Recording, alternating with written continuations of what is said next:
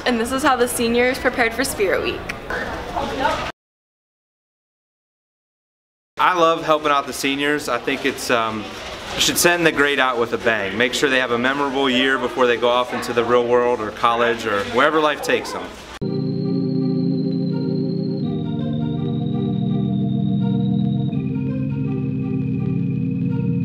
We're hanging up the signs for Spirit Week and getting our hall fancy. What does Spirit Week mean to you? It's my school pride just coming out of me. Just everything.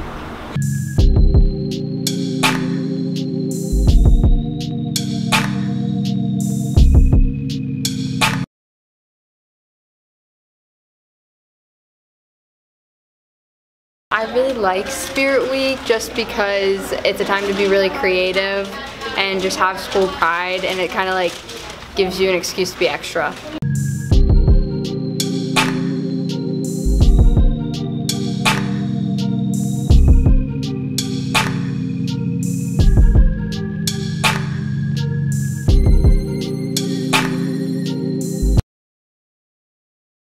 It's just nice working with people who like are like passionate about like being Spirit Week.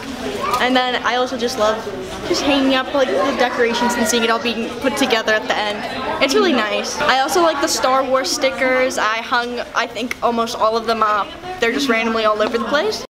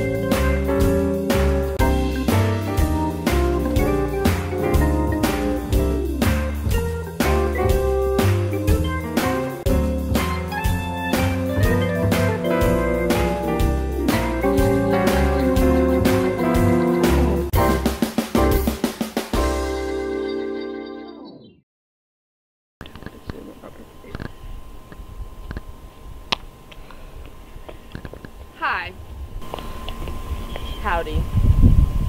Today we're interviewing Chris. Howdy. You were in frame. Hey, what's up you guys? About to die. Today we're interviewing Grace Raymond on her expectations versus reality of her senior pictures. We're also interviewing her about being an ambassador for her photographer and also an intern. My name's Grace Raymond and I had my photos done by Ashley Nicole. Okay.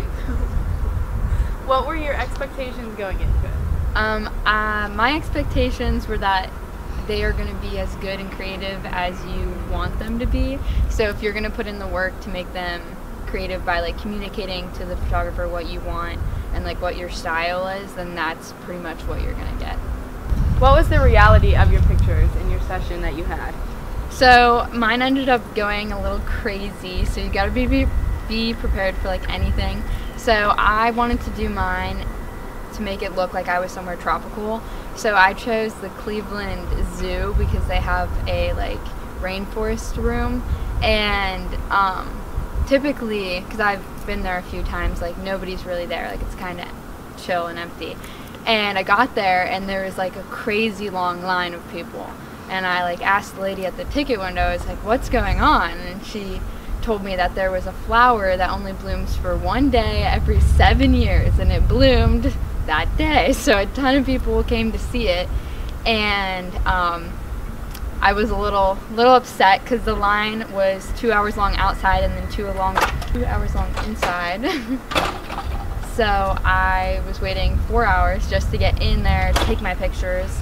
But um, I ha- I thought it was going to be like a little flower, and it ended up being a seven foot tall flower that smelled like rotting flesh.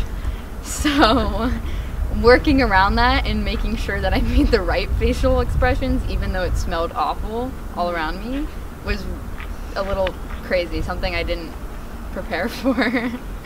so. Would you recommend going to your photographer?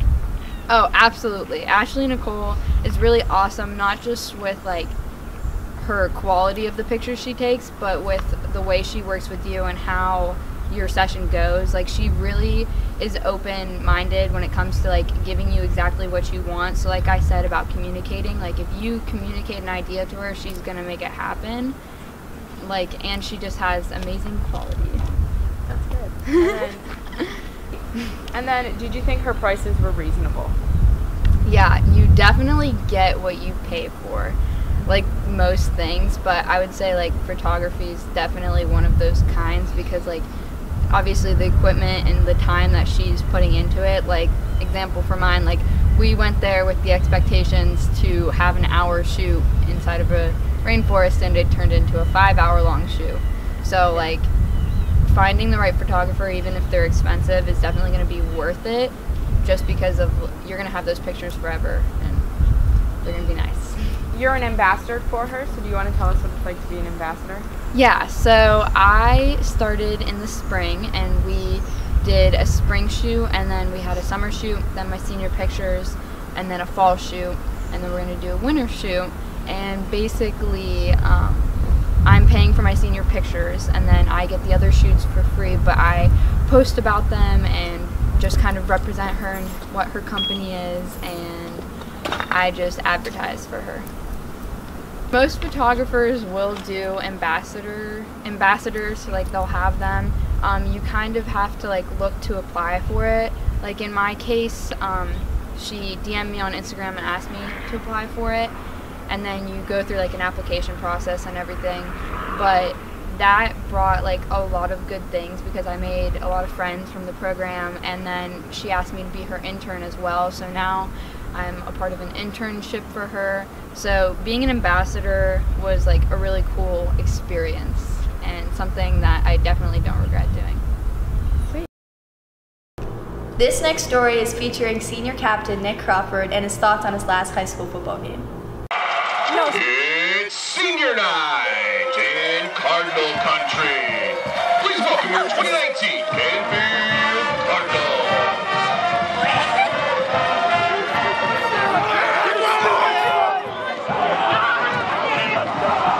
For the last game just like we would any other game, you know. But we're just we're doing with a little bit of a chip on our shoulder. Uh, it means a lot, you know. It's gonna be kind of sad being our last football game playing together. You know, we started when we were really young at Little Cards, so it's gonna be kind of emotional. Boardman, it's around 224, and we like to we own that. No, we don't own that. We pull in week 10, but this year we're playing Boardman and they're also on 224, so we're gonna win. The last game. Win. like to think, wow, Little Nick really enjoyed his high school football days. there you go. All right, I'll see you guys later.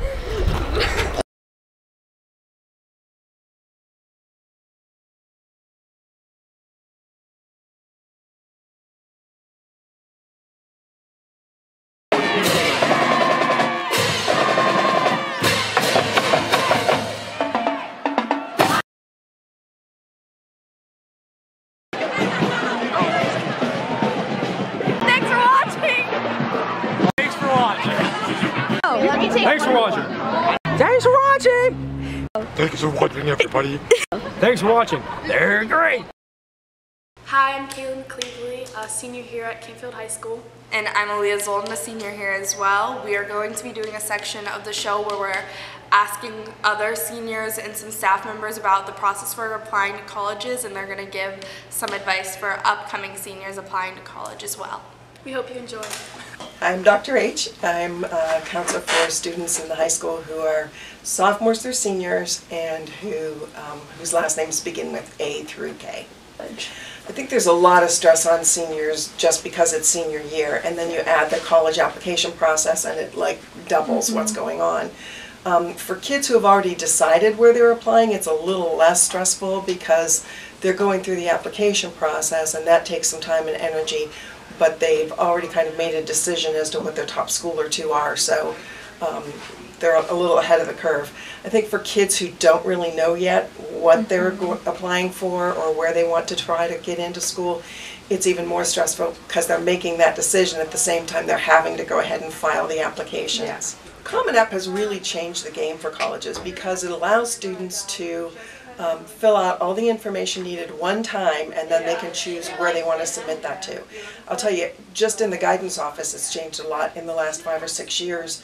Um, Common App's been around that long, but it wasn't that utilized. And so we used to have to, for every student, copy, you know, make a paper copy of their transcript and mail it to each school that they were applying to. Now students apply online and they can select schools that, that accept the Common App, and not everyone does. Um, but for those schools that accept it, they can mark those as um, places they want to apply to and much more easily submit those applications. So one thing that I see happening is kids are applying to a lot more schools.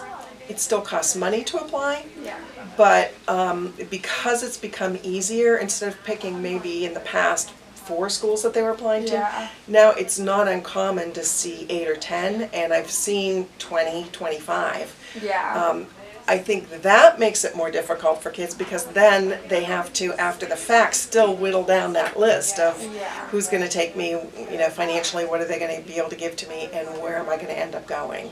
So it's helped with a lot of things, but I think it's also made some decisions a little more difficult because it's become easier to apply. Well, our current juniors should be starting now to think about the process so they're not caught in next fall with um, all of those same questions that a lot of the seniors are now. So, um, for example, spring break is a great time to do some visits rather than, you know, a, a party vacation. Um, if you can think about maybe using that time with family to look over some of the schools that you might be interested in, that's a great time to get on some campuses. Um, even if you're not traveling, that's a great time to start doing some homework, you know, and looking online at schools and who offers which programs, um, what, what size school do I want to go to, what type of school do I want to be in an urban environment or a campus that's a little more out there. You can't tell that until you get on some campuses and, and start to look at them. So spring break is a good time to start doing that. Um, obviously, kids can take time off school to go on, on school visits if they choose to do that. We're okay with that. Um, so just to start the process by spring. Yeah. I'm Nick Crawford. I'm a senior. I committed to Kent State for wrestling, then I decommitted, and I'm looking to play football somewhere. Um, so what would you say like the recruiting process was like for you? Was it like challenging or did you feel like more stressed out than say if you had to apply to colleges? I mean, I feel like if I had applied to colleges not playing a sport, it would have been harder. Playing a sport, I think, made it easier because it gave me colleges coming at me instead of me going to them. Yeah. What's your advice for upcoming like seniors that are like playing sports like you and like for getting into college and stuff like that and getting recruited? To play a sport, I'd say start filling out uh, recruiting forms as soon as possible. Get your name out there. Um, and you said you decommitted. Correct. So how, like, why did you do that? I just decided that I don't want to wrestle in college. I want to play football. It make me happy. All right. Thank you. That's it. I'm Zach Russo. I'm a senior at Canfield High School. How many colleges have you applied to so far? Um, I just applied today. I applied to Miami of Ohio and Kent State. What has been the hardest part about applying to colleges? Uh, definitely the Common App personal essay, just because um, schools don't like certain schools don't take your writing ACT score, so it's your only writing reflection they'll see of yours. So um, just make sure that's good and it's a true reflection of who you are as a person, because that's the only um, insight they'll get other than your scores. Okay, do you have any advice for upcoming students? Probably just start as early as you can. I know like it gets stressful when it's this time because I know like a lot of us early actions doing like two weeks, doing like two weeks. So um, just getting everything done like even in August if you can. All right, thank you very much. Ross, and I'm a senior at Canfield. How many colleges have you applied to? Um, I'd say roughly like 15, 20-ish. I mean, I don't, yeah, 15. Probably. What do you think the hardest part about applying to colleges has been for you?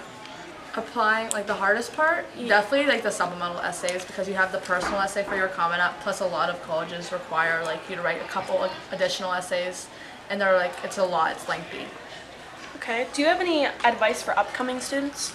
um, don't just wait till two weeks before your deadlines like i did um, i would say start when the Common App opens because like then you have like months to prepare and like definitely turn your transcript papers in more than a week before like I did. So I don't know, just be scheduling everything out and like don't evenly space it, I'd say. All right. Thank you very much. Thank you. Okay, I'm Grace Mingapora. I'm a senior and I committed to Indiana University of Pennsylvania to play volleyball. Um, did you have to like apply there, or how did you do that for sports? Did they just come and watch you? Or? Um, the way it worked was I went to their camp and I talked to him a little bit before because he watched me play at a tournament. So I went to their camp and he set up an admissions meeting for me there. And I just went in.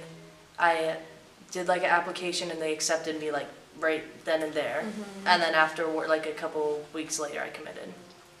So would you say it was it's like less stressful than having to apply to college, or because you had to like work hard in volleyball and everything, like more stressful? Like, what is your take on it? You think? It's it was very stressful because when I didn't know where I was going and like all this past summer like I thought about it every day like where I'm Mhm. gonna go if I'm gonna like go here or if like balancing out my options like every single day and so that was really stressful the recruiting process is really stressful but now that I have it all out of the way I don't have to write any more essays or talk to any more coaches or apply anywhere else and it's all done so now I'm relieved Okay. What's your advice for upcoming seniors in your position that are like really, really good at a sport and like are being recruited? Um, stay calm. It'll happen. Everything will work out. Um, do the most though. If you're not sure if you want to play in college yet, or if you are just undecided on anything, still do the most and still try and still do all the steps and just stay calm because it'll all work out.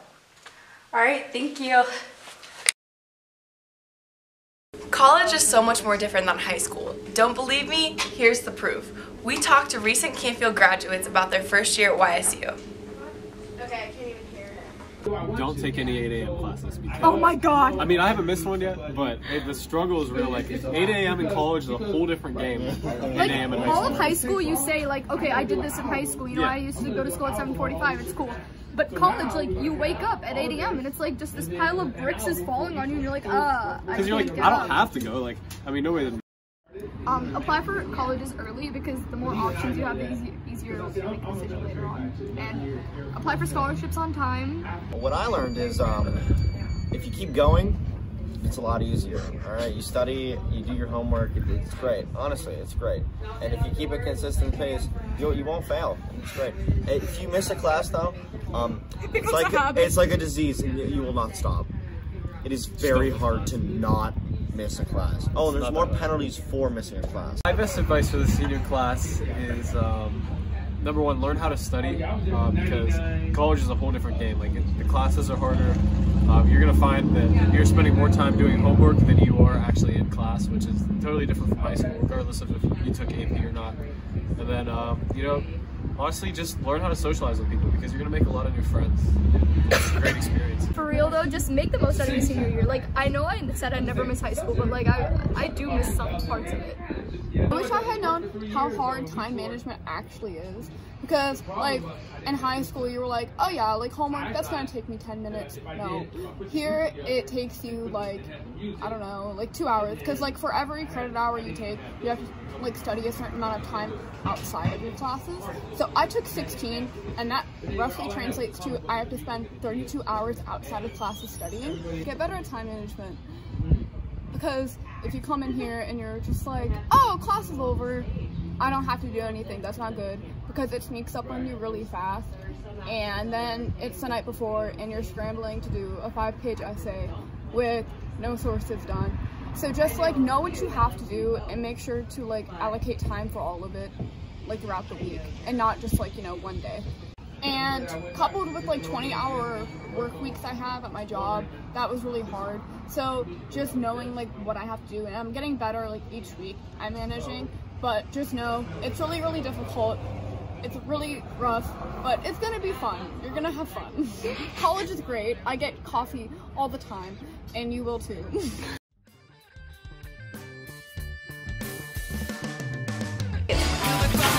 I love Buckeye. What they say, you must do what you're told. Now it's too late.